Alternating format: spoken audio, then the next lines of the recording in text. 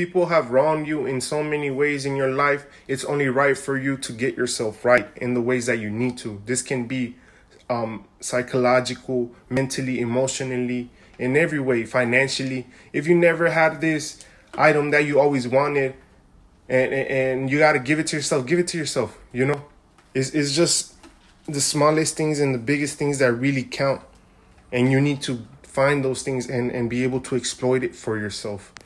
Always remember that nobody's gonna come and save you. This life belongs to you. Therefore, you take actions in the ways that you need to and in the ways that you want to. Remember that key to success is always giving it another try, giving it another try until you get it right.